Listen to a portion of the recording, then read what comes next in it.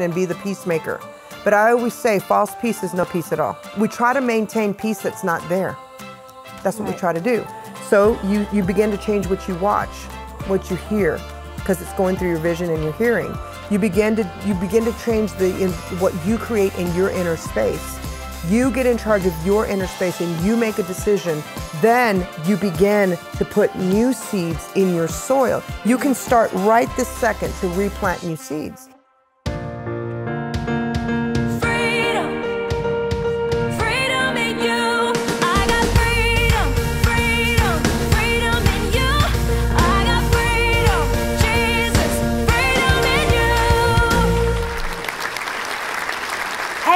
Welcome to the Kellie and Jerri Show. I'm Kellie. This is Jerri. And uh, you know, normally we have we show our big living room. We start off the show. We're we're ready to go and bring you into a brand new show. But yesterday, oh my word, uh, or last week, we had just such a time with our friend Carla Shellis and. I I don't know. It was she was. We were closing. I'm like, Don't "Whoa!" go. We didn't We're want her to stopping go. in the middle of a sentence, and I bet you felt the same way. Yeah, I encourage you, if you didn't see that show, to go back and watch it. It was so good. So we begged her to stay, and she obliged. So she's still here. Carla, thank Yay. you. Thank you. Thank, Thank you. you. I'm Thank you. happy. She's here. Listen, I can stay here till tonight. Let's just order in some food. Let's just keep rolling. Huh? Hey, you know, we need to do that. We need a conference. We Yeah, let's do it's, it. It is I'm ready. actually one of our dream vision Yes. things to have a, a Freedom House conference and just bring freedom Let's like in it. person. We got it. bring I'm the ready. beach to everybody. so, we're ready to, to rock and roll with the. ra- You didn't even get through all your props. I know. I've got some good stuff for you guys. I think it'll help you. I I love to just share because it set me free. Well, your visuals, I think, So help good. so much when you're able to see it. Yeah. Yeah, right. I, I told you, I've gone back when you were on last time and remembered a visual that you showed. So I think it's so important. That's the only way I know how to learn. I- This I- is your fourth time on the show. is it? Yes. Yes, right. Yeah, I, I don't think we've had anybody else. I need to be like Celine time Dion on. Oprah. She was the most invited guest ever. I'm like, okay, that can become a goal with you guys. Okay. But I really do encourage you to just go, like, don't even keep going on this show. Go back and watch, if you can, go back and watch the show before. Mm. And because uh, it's really critical to, but if you can't, watch this one or watch them both. well, either you were way. talking about breaking through of those thoughts, the patterns. the patterns. So One of the things I want you to just briefly, maybe you could just hold it up, your little sign there, because that's Oh, where I think we okay. have to establish this, what you said, because the, I want to ask a question about this. Yeah. So the the thing I said last time was um, we have sixty to seventy thousand thoughts per day. Each person does 60 to 70,000. 70,000. thoughts per day. Okay. And the fun the fun part of that is fifty percent of our thoughts from the past are not true, which I I, I found that astonishing when I learned We that. waste a lot of time. Well, I'm thinking of the past. Okay, so 90%, which I took earlier, where it was a blank thing, I took a, a marker and, and scrubbed out 90% because uh, each box represents 10,000 thoughts. 90% of those thoughts are from yesterday, mm. they're from our past. 10% of our thoughts are only about the future. So, as a normal human being, without the healing, without the freedom, without the knowledge and the wisdom, we live our lives with only 10% of the future. That's why we're in cycles. That's why we can't break out of into the place God has for us, which is that abundant life that He talks about so much in the Bible. Right. I'm like, where is that abundant life? Mm-hmm. Because I don't feel like I'm living it. That was my 20 years of my life. Right. So then understanding that, well, no wonder because 90% of my thoughts are from yesterday. That's going to take me nowhere but to yesterday. I can't Right. go forward. You, we cannot go forward that way. So that's how we started the conversation about why we're stuck in that cycle and how. And my goal is to reverse it and to make 90% of my thoughts about the future and 10% of my thoughts about the past, which I call my wisdom. And That- you I said love it's that. a it's a disciplined exercise. It's a that disciplined to do. exercise. Yeah, you and and I like what you said earlier that um, you have to go. No, I'm not thinking that. You know, we had some we had some stuff happen, and we've we've we've been 30 years in the roofing business here in the Metroplex, and for about 10 of those years, we had a really hard time. and a lot of decisions were made that should not have been made, and it was a bump in the road. But I had a really bad habit of bringing all of those thoughts of the past and all of the real trauma of the past back to the future, back to my present, to justify my place, hmm. to make myself right that did nothing but hold me back. Well, we hear that all the time, but I didn't know it was like literally, mm-hmm. Like literally, I was repelling and not drawing. Mm-hmm. That's what I was doing. Mm-hmm. So, you you're really saying you're saying because this it sounds good on the surface if you pass over it, but how are you going to do it? Is my question. You're telling us to take 90% of those negative thoughts Of the past. of the past and only keep 10% and call it wisdom. That's right. So that is a big order, though. How do I get rid of those thoughts that don't belong in my wisdom bag, and how do I know the difference? And how do I trim down? I mean, we've, we've had a, uh, her sister on talking about clutter. Uh-huh. How am I going to declutter my past question. thoughts and come out with my little? Uh, m- you know the minimalists, which all everybody today is these minimalists Yeah. in their house. I can't even imagine making my house minimalist. I know. because, but getting rid of ninety percent and keeping ten. I, Let's- that, I can need we get you this to back talk out? to me about Yeah. that. Okay, well, I'm going to show you because you know Terri um, has been such an inspiration in my my We're life. talking about Terri Foy. Foy, yeah, Your- along with- Jerri sister. millions of other people. But she has a concept about decluttering. Take 20 minutes a day and just find one thing to declutter. So I would say the same thing about our thoughts of the past. So if you have something in the past that you still haven't let go of, take 20 minutes a day to put these exercises into place Okay. that I teach in order to reverse that thinking. Because is actually an exercise. You can't just be like, okay, I'm done with that, and then be done with it. it it's it's an okay. Um, one of my mentors says, thoughts that fire together wire together. So I literally saw in one of his lessons that you have neurons inside uh, around your brain. And whenever you start thinking thoughts that are of the past and that are negative, they literally multiply huge fast time. Like they multiply and they mm-hmm. start wiring together. So that's why it's literally like you got to rewire. You know, Caroline. So wait, Leaf. if you mm-hmm. have this thought, then you got to think all these, and this is why you don't sleep at night. That's right. Says Dr. Kellie. That's right. You absolutely right. I mean, Dr. Caroline Leaf has the most amazing stuff on this. So let me show you this really quick. So you have this is my little drawing. I hope we can see that. But you have your conscious mind. And then your subconscious mind is the soil. And I always tell everybody imagine you have a 10 acre lot and it's flat. And you have a 10, every human has a 10 acre lot. From the moment you're in your mother's womb, seeds started getting planted in that soil. Mm-hmm. Okay. So I just purpose it after soil. And then this is like life dropping seeds and it comes through all five of your senses. Mm-hmm. Okay. That's how you get into your subconscious mind. Well, all of these seeds begin to grow, and these are going to be environments that we create.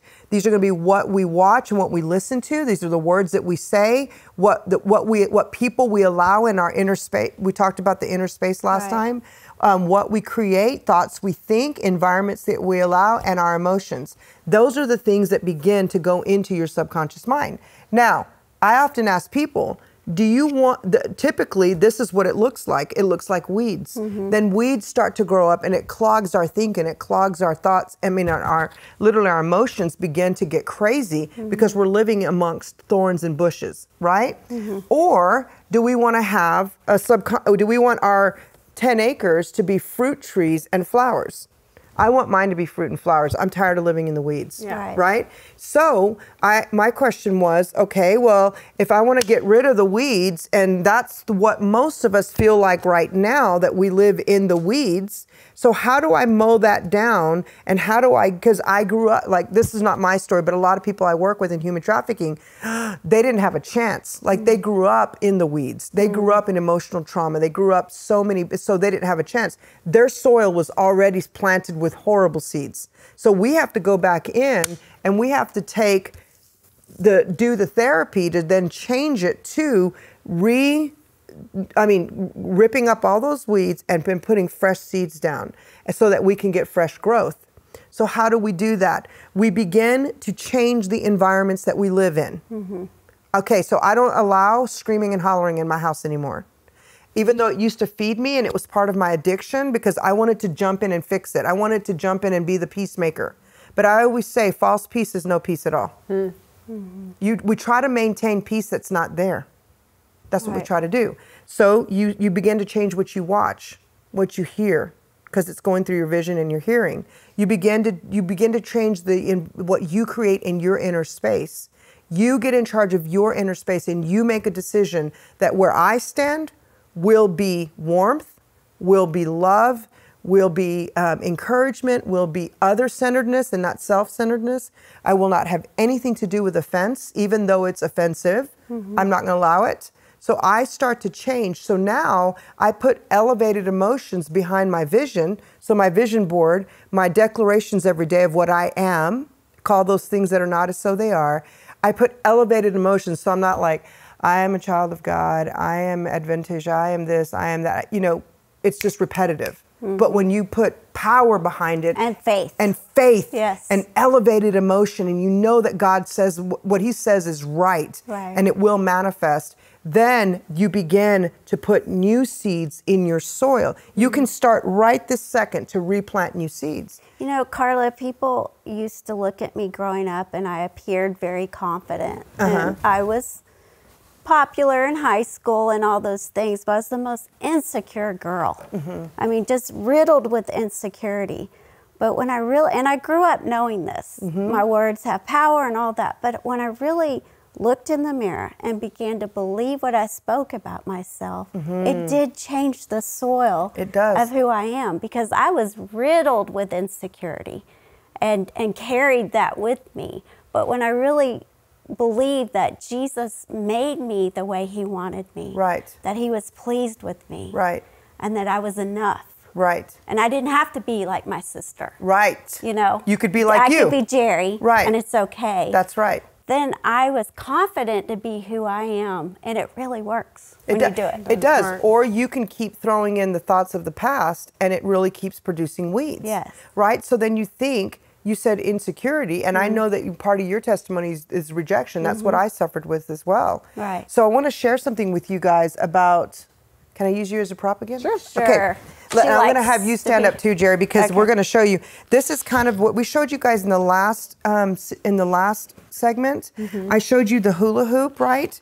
But this is the space that anxiety resides in. So whenever I start to feel anxious, so this space gets as big as you allow it right so we talk about rejection if i if my space is this wide open and i i am wide open for rejection when i feel like i'm going into a relationship or i'm going to see a relative maybe that might have been a trigger for me for rejection or whatever and you think i have to see you once a year so i've got to i've got to control me what I do with my survivors uh, in the safe house is I want to get you to a place when you can walk in and out of the fire and not smell like smoke.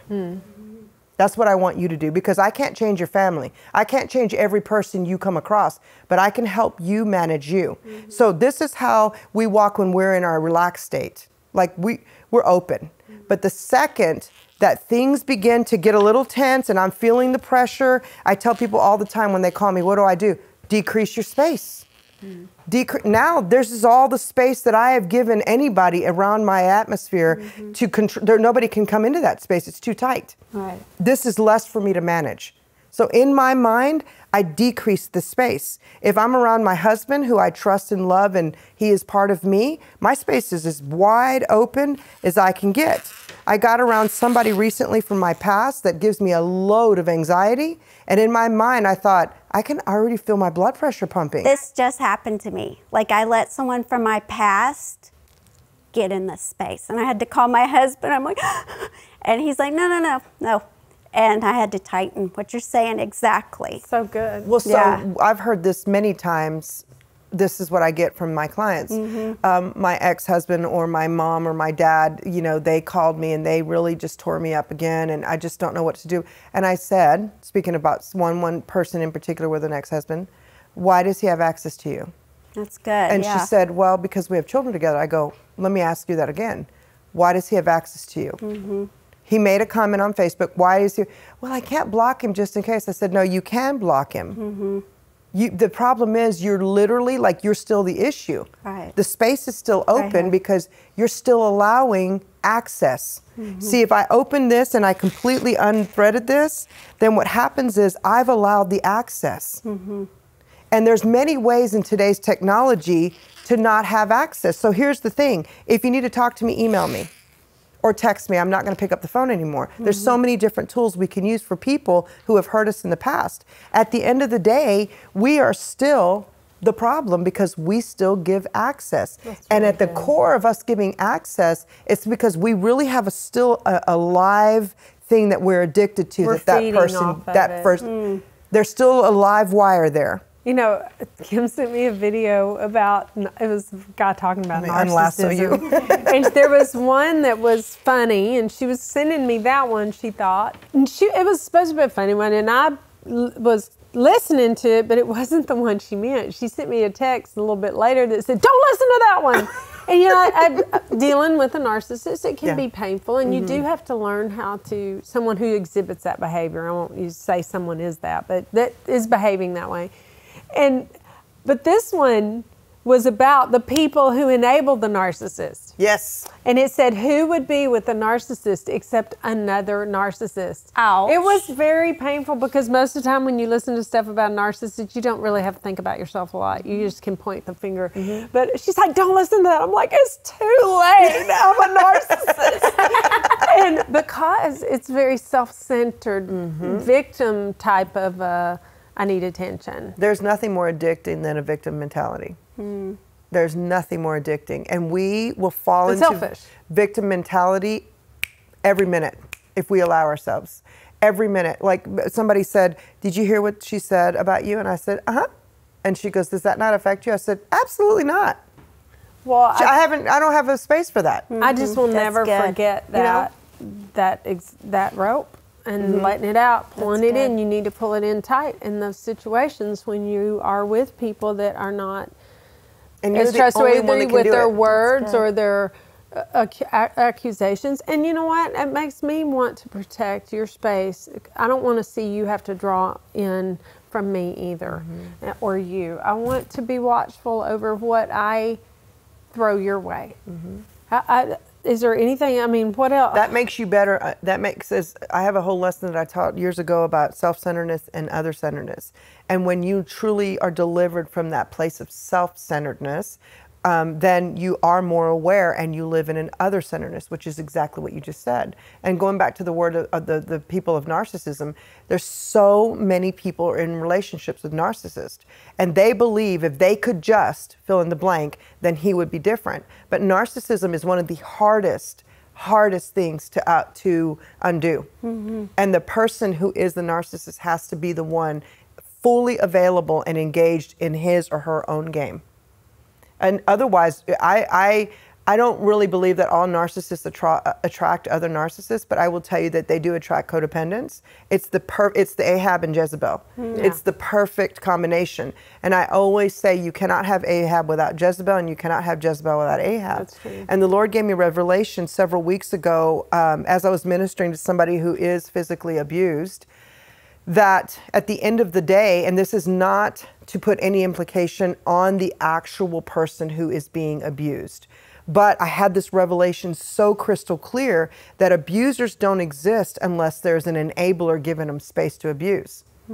Because I had a, a client that was severely abused by her husband, and I saw her out. He came to me, super nice guy. And I remember thinking, if I didn't know any better, I'd swear that she wasn't telling the truth because this guy does not appear to be the guy that she's telling me about. Mm-hmm. And I realized that he's not, if he was a true, authentic guy, and I'm not taking responsibility away from him, I'm saying he didn't abuse me. He didn't abuse my friend or my daughter, and there was three of us standing there talking to him. He was as charming as he could be he abuses where he's given space to hmm. abuse. What does that do? That empowers the victim. Because if the victim who's being abused understands that, I just got to close my space in and that's not allowed anymore, then that will, he'll run away. He will literally run away. Mm-hmm. He will literally run away and go find somebody else to abuse. Mm-hmm. So, what causes people to not to do not do that. because there is a chemical addiction inside of you that is addicted to the the comeback. It's I call it the fueling up. So the abuser, what the abuser does is they go in and they you know throw gifts and words and affirmations all over you until you get sucked in to that circle. Now you're inside their circle and they control the open or close you don't control that anymore because you're in their circle. And then when you then the next step after all the adoration and gifts is to start tearing you down and start telling you how they're better and to start telling you they have to take care of that because you don't know what you're doing. So they start tearing down your self-esteem. And when mm-hmm. that's torn down then they come in for the punch whether it be physical emotional verbal whatever. Now when you get a little bit of honory in you and you get a little bit of guts in you and you start kicking back the first thing the abuser does is start throwing gifts and words again mm-hmm. cycle. it's the filling up the station the pattern. I got to fill up the, the car. The car's almost on empty, and now it's kicking back on me. Mm-hmm. So I got to fill it up and then start the cycle over again. But the codependent is addicted to the comeback, mm. is addicted to the comeback. And until you realize that you cannot fix that situation, then you will never leave. When you realize, I can't fix this, I cannot save this guy, I can't love him straight. He's got a mount of issues he came in with. You're just a victim.